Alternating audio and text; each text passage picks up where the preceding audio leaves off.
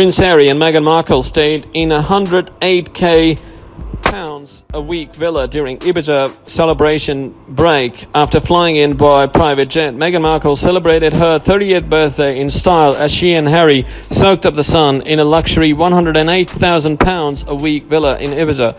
It wasn't just a special trip for the Duchess of Sussex. The six-day stay at Sa Calma Villa on the exclusive Vista Alegre estate was baby Archie's first holiday abroad. The stunning seven bedroom property boasts a 50 meter infinity pool, live-in caretakers, waitress, gym, Range Rover with a d- driver, and a night security guard.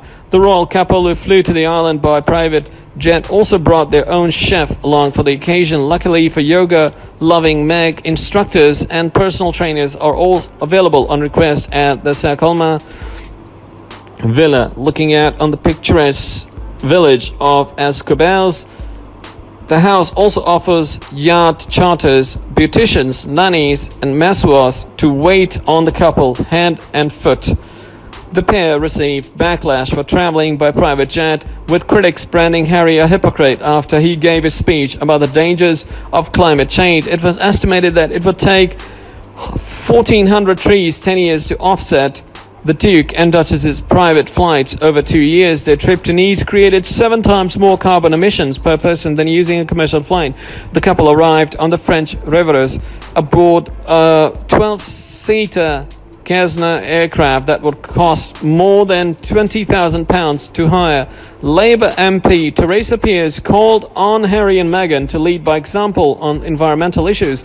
Miss Pearce said, given the situation and position they have taken publicly about being responsible on climate change, this does seem an anomaly which they should look at. It's up to all of us to cut our carbon emissions and the number of flights we take a year. That's really important. And someone as high profile as that should lead by example. Previous guests at the villa include Sir Paul McCartney and David Guetta, and one local said that the Vista Alegre resort is packed with the rich and famous. Buckingham Palace declined to comment.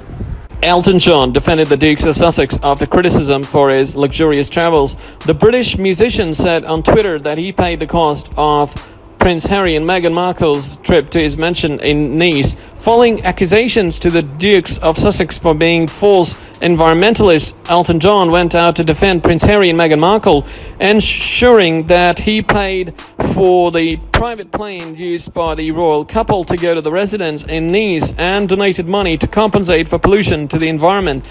The 72 year old artist said he was deeply distressed by press reports about the Duke and Duchess of Sussex stay at his home in Nice last week. After a year agitated by his hard work and dedication to charity, David and I wanted the young family to have a private vacation within the security and tranquility of our home, he said. To maintain a high level of much needed protection, we provided them with a private jet flight, the musician said in his tweet. The Dukes are the target of criticism for the use of private planes and the pollution that these flights make. The Royals are bearers of sustainability and environmental care, something that is unrelated to the decision to travel by a private jet that are up to seven times more polluting than a commercial flight.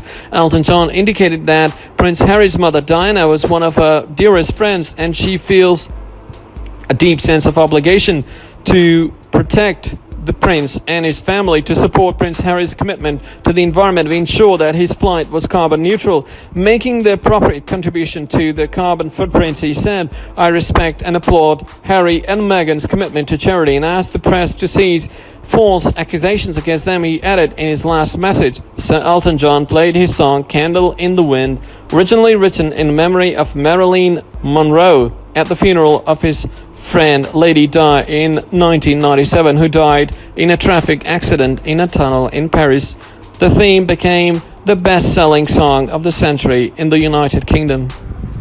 Meghan Markle row. How Meghan feels restricted by royal life, inspired by Diana. Meghan Markle only became an official member of the royal family last year, already being feeling restricted by conventional royal life. According to an expert, Meghan Markle married Prince Harry in a lavish ceremony at St. George's Chapel in Windsor in May 2018. The American former actress quickly became one of the most popular members of the royal family with millions of fans across the world, but Duchess of Sussex has also received a reputation for breaking protocols and doing things her own way. When Meghan and Harry became parents in May this year, the couple revealed the news in an untraditional way by posting the joyous news on Instagram and Ever since little Archie Harrison, who was born on May 6, joined the world, it has become clear Meghan is eager to keep his life out of the public eye. At the young Tot's christening in July, royal fans were kept out of the loop as the couple chose to keep the private event Usually, the royal family share big events like these with the public. The Duke and Duchess of Sussex recently faced criticism over after it was emerged they were flying private jets to lavish holiday destinations.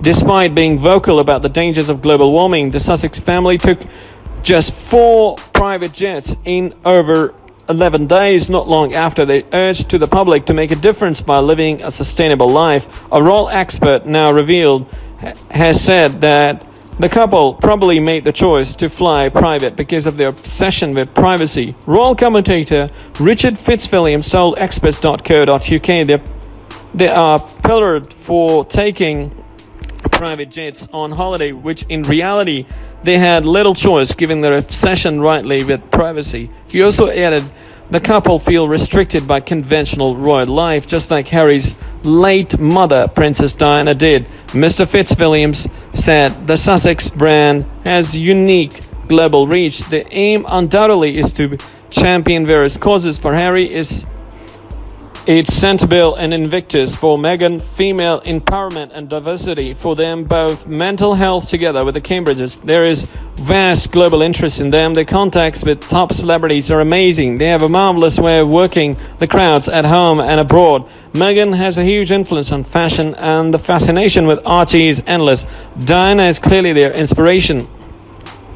This leads inevitably to the reports that they might spend an extended time abroad, possibly in the roles with the Queen's Commonwealth Trust or even the, in the United States, any extended stay abroad would have huge security costs, and we are unaware of the plans for Archie's future. This is obviously the way it is heading. It will raise questions as what their role in the United Kingdom actually is as opposed what they want it to be. It'll be exciting as well as perilous to see what happens as they do things their way. How Prince George and Princess Charlotte are just like Prince William and Prince Harry. Just a few weeks ago, royal watchers were struck by the difference in Prince George and Princess Charlotte's personalities when the two appeared with Prince William and Duchess Kate at the inaugural King's Cup regatta. This culminated in a very cheeky moment when Charlotte stuck her tongue out at Grandpa Michael Middleton while the family was heading to the prize giving stage where Bear Grylls was presented with the trophy and Kate was given a giant wooden spoon for coming in last. Contrast with that of George, who looked on the crowd, turned down, and went down the flight of the stairs to the stage. Of course, George is no stranger to being a goofball himself, but overall is much quieter than his sister an insider recently told people George is more reserved and Charlotte is more outgoing. The source said maybe it's because he's the heir and one day he might be the king. Royal watchers have had plenty of opportunities to see the siblings' dynamic in action while visiting Kate's back to Nature Garden at the Chelsea Flower Show in May. Video footage showed William asking Charlotte, Can you help George? No, the gregarious and spirited princess replied, skipping away. Later, she was seen running by yelling at her brother, George, quicker, George! The Queen herself has even remarked on their difference in personalities. Once last year, the mother of a girl visiting Sandringham told Her Majesty the girl's younger sister looks after her. It's like that with George and Charlotte. The Queen replied, If you're thinking this difference in personality sounds familiar, you're right. It's a difference between William and Harry. The insider told people Harry is much more laid back, and William is the most serious one because he will be the king one day. The relationship might change a bit when Charlotte starts school at Thomas's Battersea in uh, September, Charlotte may find her own friends and she may bond even more tightly with her brother. She's reportedly so excited and can't wait to be with her big brother at big school, the insider told the publication. George and Charlotte seem very happy playing together, a source told Express last week. In the public appearances, they seem the happiest of siblings. When Charlotte joins George at school in September, they are likely to be even closer. George has been at Thomas since 2017 and is also in the same year as his cousin Maud Windsor, the daughter of Lord Frederick Windsor and Sophie Winkleman. On George's first day as Thomas's Battersea, Nearly two years ago, royal watchers were thrilled to see him arrive at the school in his uniform holding his dad's hand. The palace also released official portraits of George on his big day, as the family did when Charlotte started nursery school. So we also likely have that to look forward to when Charlotte starts her academic life.